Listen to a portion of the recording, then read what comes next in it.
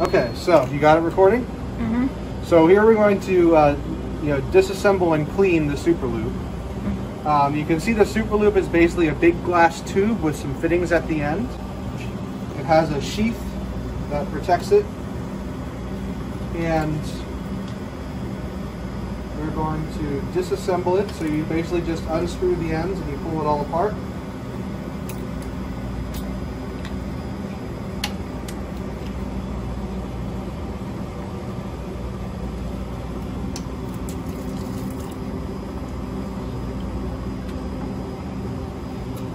We have these.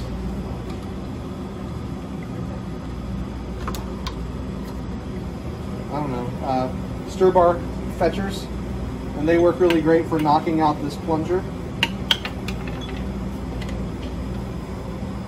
And then I also like to get some paper towels ready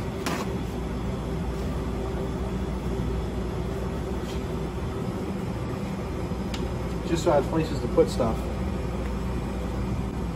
So this is this is the most expensive part of the loop, and so what you want to do is make sure that if you set this down, it doesn't roll away. So again, I often will have, I'll set it like between two of the caps just so it doesn't, you know, tends not to roll away. But what we're going to do is we're going to start by washing this off first.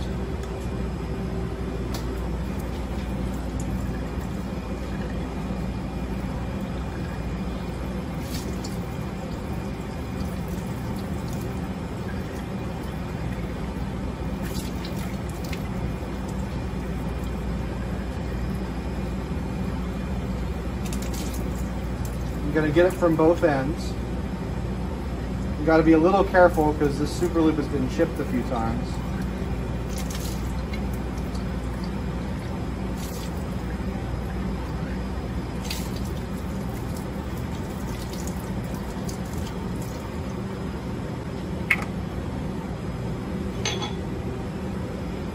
And then I'll wash off these.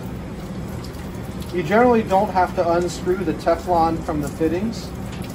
You know, just get these kind of clean and straight off. Uh, if you need to unscrew them, you can. I mean, there's nothing magic about it, so they can be unscrewed and disassembled. And then typically I put the longer tube at the bottom of the loop. And so the bottom of the loop is the part of the loop with zero on it. And if you look at this fitting, there's a little slit there. There's a line. So I'm going to put that in, and then I'm going to turn it. And it's hard to see here, but I'm going to turn it so that there's actually a little etched arrow in the loop. And I'm going to turn it so that that line lines up pretty much with the etched arrow. What that does is if the solution is flowing down from the top, it actually gives the solution a, a, pathway to flow into the, the bottom of the loop. And so having the alignment is actually pretty important. Now I can put the bottom on.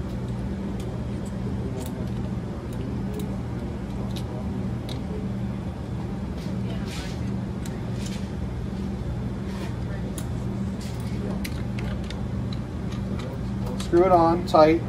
Again, after you tighten it, it might have moved a little bit, so you can always sort of check that out. But it's still pretty well aligned here.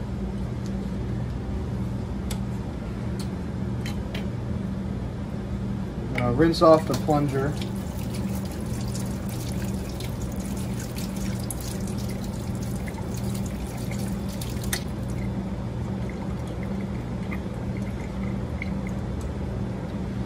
And now what I'm going to do is I'm going to fill the loop. I'm going to try to avoid any bubbles. So I actually try to overfill it if I can.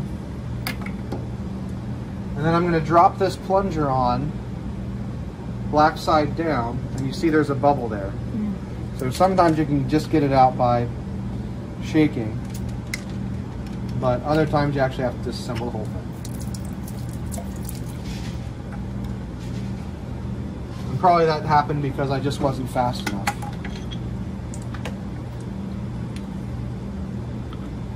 So I'll reassemble, realign, screw back on.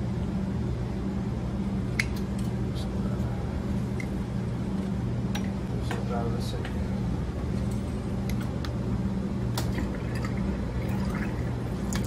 Again, you want it. You want to almost want there to be like a a surface tension, which is sometimes hard because it's op- it is leaking out the bottom of the tube, right?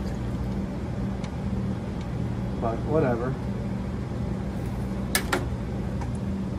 You can kind of put it in there with an angle, and then yeah, that looks good. So no bubbles. I'm not going to worry about the top for now, mm-hmm. because what I'm going to do is I'm going to push this through. I'm taking the top, I'm going to put it in, and notice how the solution's coming out. So this is actually washing the bottom of the tube as I, as I push down on the top. Once that's down all the way, I'm going to pull it up. And now I'm going to top off.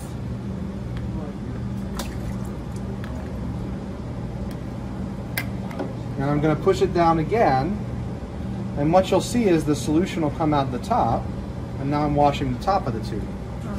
So by doing it this way, I actually flush this out with water, I flush this out with water, and the tube is basically containing water with no bubbles. At this point, I can sort of start drying things off. You know, the drier this is, the easier it is to find leaks later on.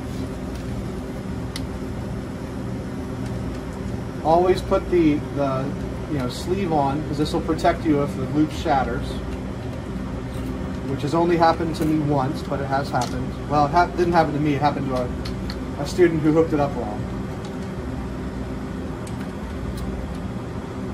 And forgot to put the pressure limit on, so.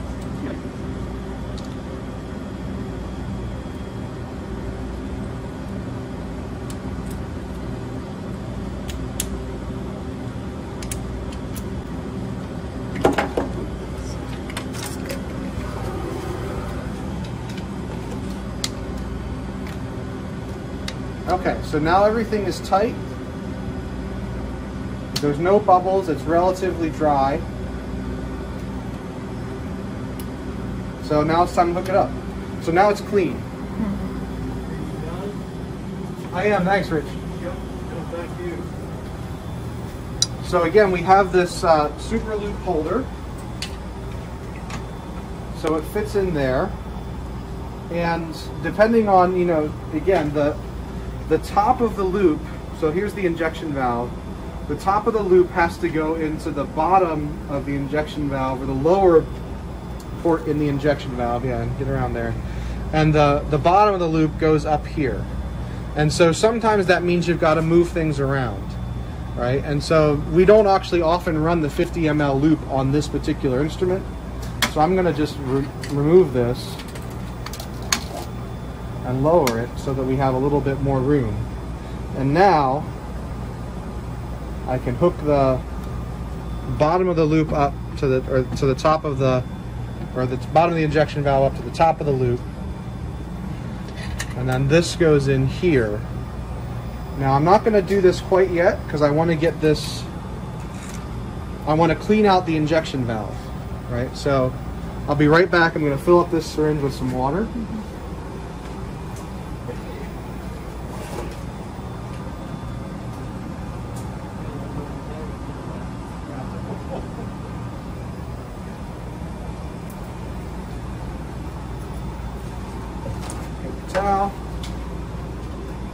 So I'm just going to plug this in. And if I if I squirt that out, you can see water's coming out of the the valve to, or the port two, and that's basically just oops. That's basically just flushing the injection valve and getting any residual junk that might have been there from the last prep.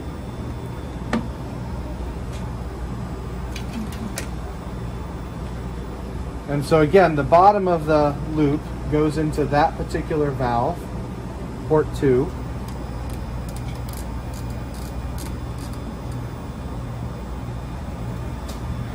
And so what remains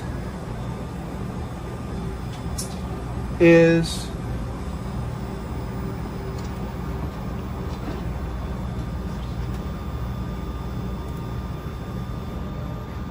Okay, so everything still looks like it's working.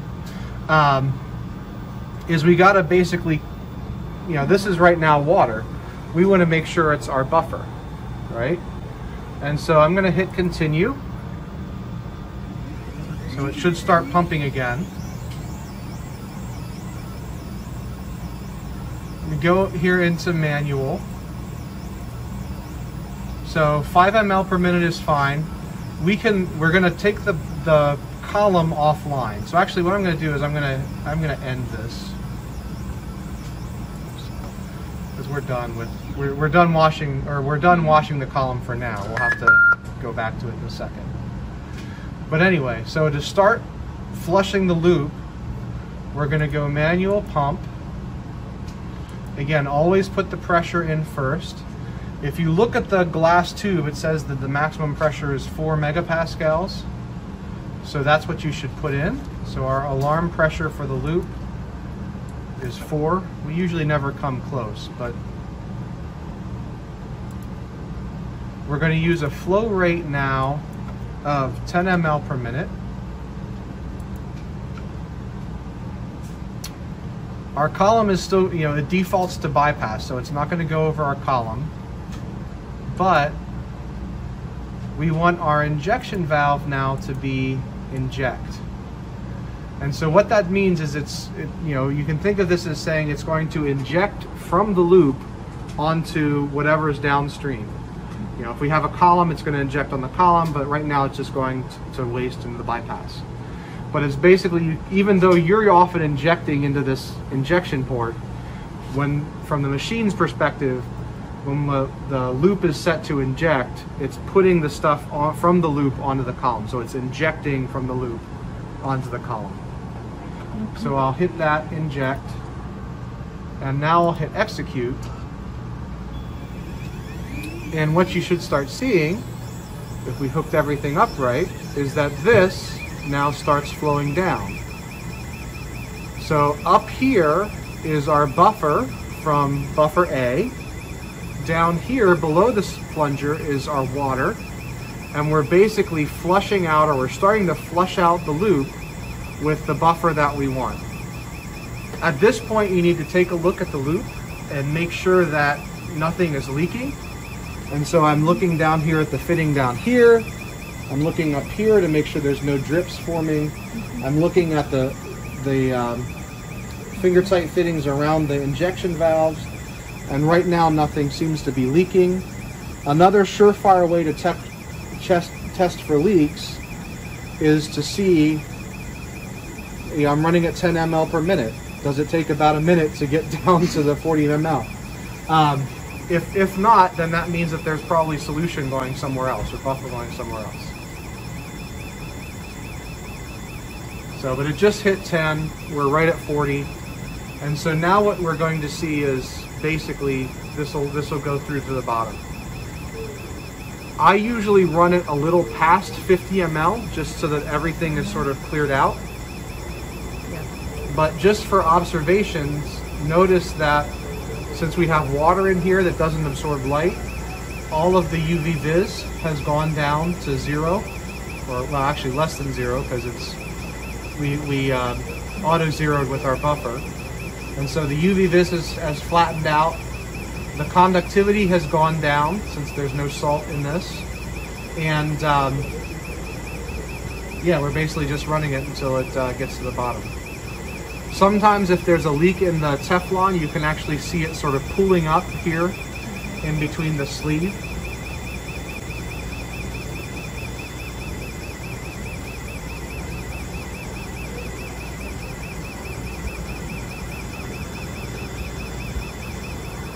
And again, the idea behind this is that by putting your sample into the loop and using this plunger to push it through, your sample never has to come in touch with or come in contact with anything in the pumps. And so it's designed to preserve your the life of, of the pumps. You know, in principle, you could you know, just stick the tubing from buffer A into your sample and pump buffer A directly into the tube. But that would tend to, you know, put whatever gunk is in buffer is in your protein sample onto the pump, and then that would shorten the lifetime of the pump.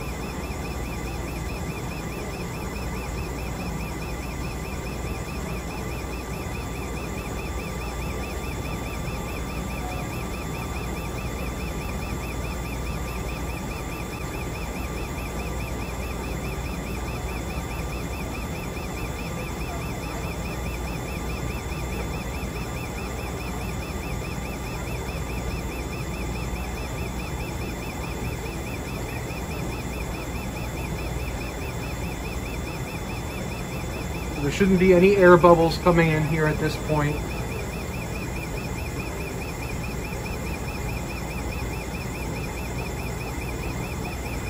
And again, if you check the fraction collector on the other side, it's it's still flowing through. One thing that you do you can notice is, you know, we talked about this sort of display here. If I look here right now, if I go here to, you know, right now it's buffer A, but if you really are careful and you follow all the connections here, you can see it's coming from the pump, going through the injection valve. This squiggly line is the loop. So it's going through the injection valve, over the loop, back out the injection valve, and then downstream to whatever the column or whatever is. So this does change, but it's it's very subtle, and you kind of have to really pay attention to see it. So that's why I don't you know don't really pay attention usually. It's much more easier just to say, oh yeah, the injection valve is up here and inject, and and note that.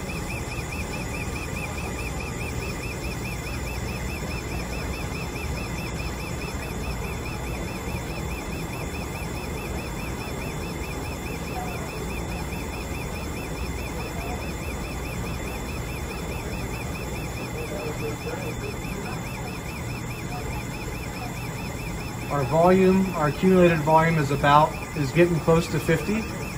So again, it's getting close to 50 here. Again, another sign that there's no leak. Once this gets to the bottom, we'll see the UV shoot up back. It should shoot up back to zero because we've already auto zeroed everything at, at, um, at, at the appropriate UV wavelength. And then what should happen is our uh, conductivity should also level off or, or, you know jump up to where we're at before. Um, so and because of this, this is one of the reasons why I like to let it run until it equilibrates. Because you know every time it comes off, you know there's still going to be some jumping around. I figure every time these valves move, a little bit of stuff comes off of them. Uh, and so, you know, I, I wait until basically this looks, you know, all these lines look like they've sort of flattened out.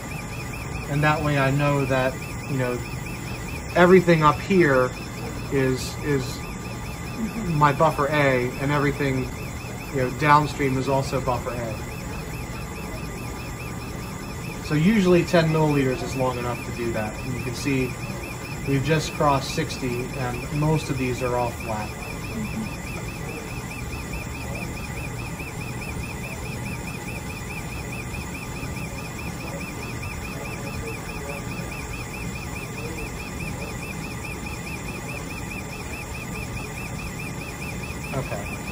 So now we can hit end. And now the loop is equilibrated and it's clean and it's ready to go.